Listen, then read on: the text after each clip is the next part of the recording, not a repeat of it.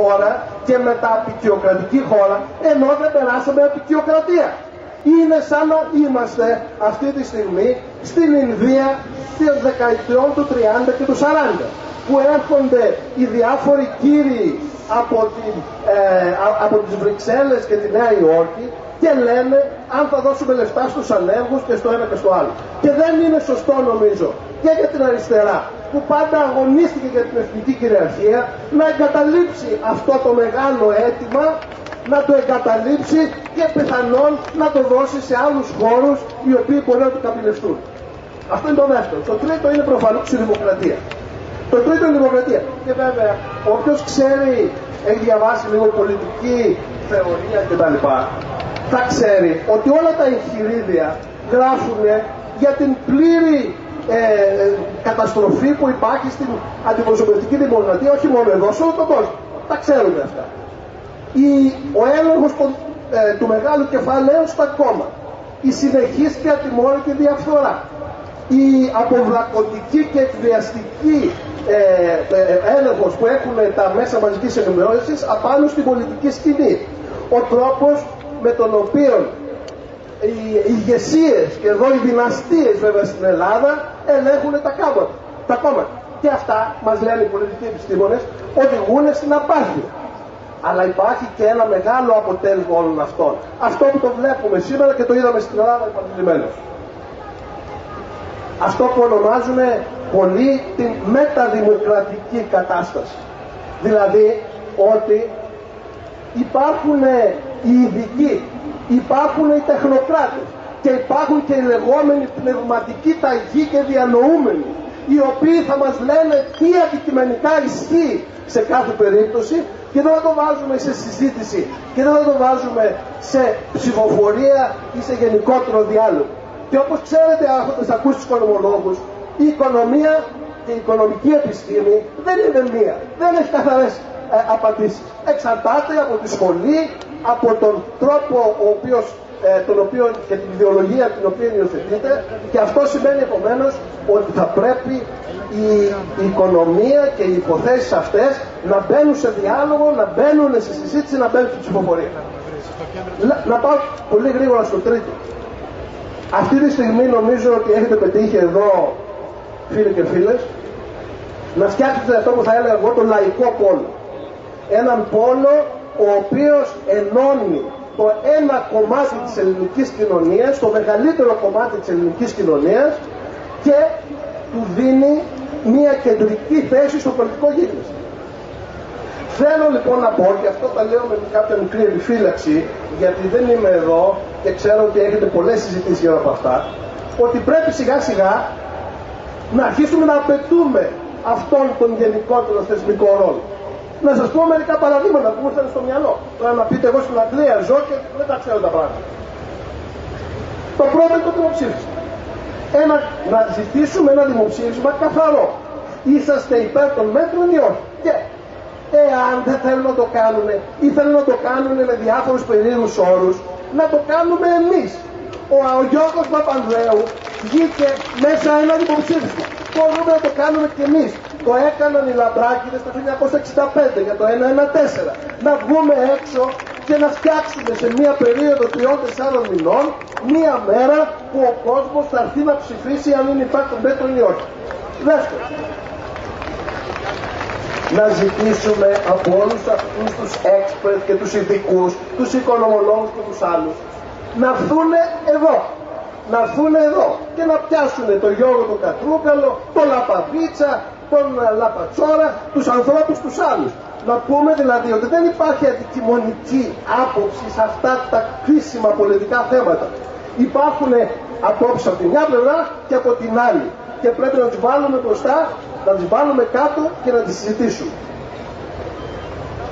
Εγώ θα έλεγα θα ήμουν πολύ ευτυχισμένος να συζητήσω με τον κύριο Μόσχελο, ο οποίος αναλαμβάνει σήμερα ο πόρ παρόν τη κυβέρνηση γιατί είμαστε φίλοι.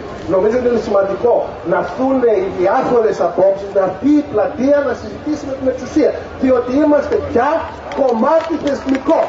Και μετά, και τελειώνω, να αρχίσει, και τώρα θα πει και ο Γιώργος ο Κατρούγαλος, μια συζήτηση για θεσμικές αλλαγές και συνταγματικές αλλαγές να ξεκινήσουν ομάδες οι οποίες να μπορέσουν σιγά σιγά να βάλουν τη λογική ότι αν θα γίνει συνταγματική αναθεώρηση θα πρέπει να έχει μέσα την άμεση δημοκρατία ή αυτό που θα έλεγα γενικότερα την αγωνιστική, ριζοσπαστική δημοκρατία στην καρδιά του.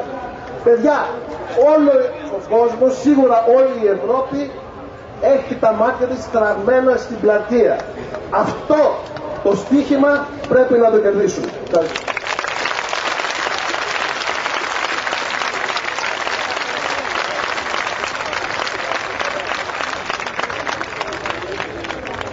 ο Γιώργος ο Κατρούγκαλος, ο συνταγματολόγος.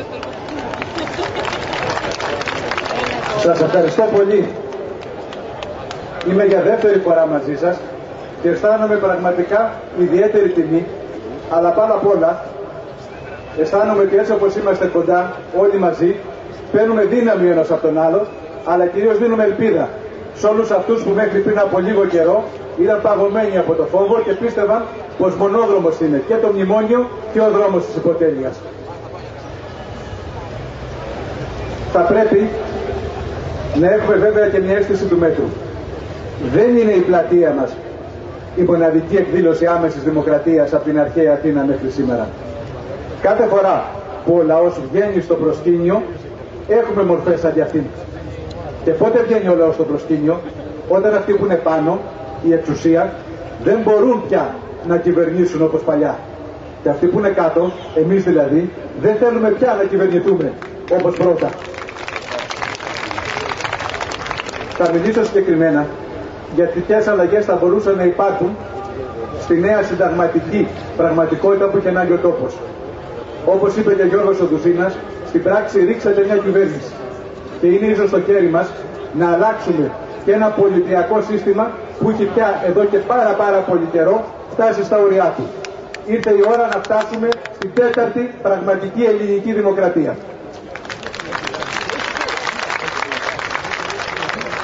Μιλώντας συγκεκριμένα, θα πρέπει πάντα να έχουμε στο μυαλό μας ότι οι θεσμοί άμεσης δημοκρατίας συνδυάζονται πάντα και με θεσμούς αντιπροσώπευσης.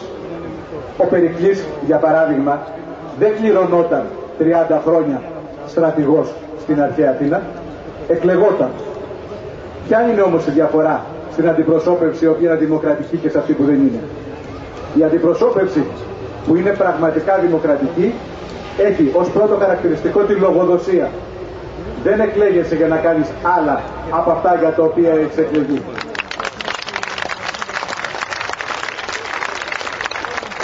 Το δεύτερο χαρακτηριστικό που κάνει πραγματικά δημοκρατική την αντιπροσώπευση δεν το ανακάλυψαν οι πρόγονοί μας της αρχαίας Αθήνας.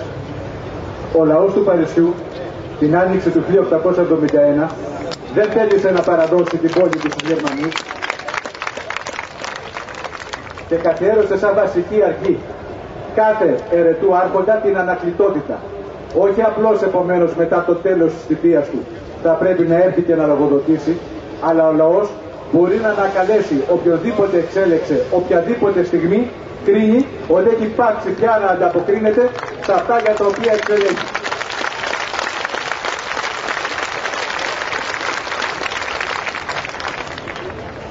Και αυτό δεν είναι κάτι που το ζητάει η πλατεία μας.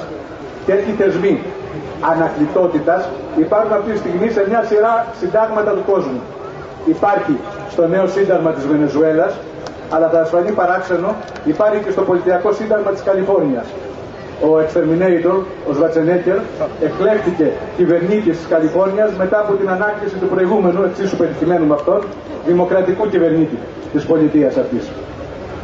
Επομένως, επειδή δεν θέλω να πάρω πολύ χρόνο και να έχουμε πάρα πολύ χρόνο να τα συζητήσουμε, τι μπορεί να γίνει αυτή τη στιγμή σε επίπεδο συντάγματος; Πρώτα-πρώτα, ο αυθεντικός θεσμός του δημοψηφίσματος, που μέχρι σήμερα υπάρχει μόνο τυπικά. Γιατί τυπικά, γιατί για να γίνει δημοψήφισμα θα πρέπει να συμφωνήσει η κυβέρνηση και η κυβερνητική πλειοψηφία για κάτι τέτοιο. Αυτό πραγματικά αναιρεί το χαρακτήρα του δημοψηφίσματος σαν μια πραγματική δυνατότητα του λαού να εκφραστεί άμεσα, χωρίς ενδιάμεσο και να δώσει πραγματικά τη θέλησή του. Σήμερα για να γίνει δημοψήφισμα είτε πρέπει να το προτείνει το Υπουργικό Συμβούλιο και να το αποφασίσει η πλειοψηφία της Βουλής, είτε να το προτείνουν 120 βουλευτές και να το ψηφίσουν 180. στην πράξη κάτι που είναι αδύνατο να συμβεί. Αυτό που θα μπορούσε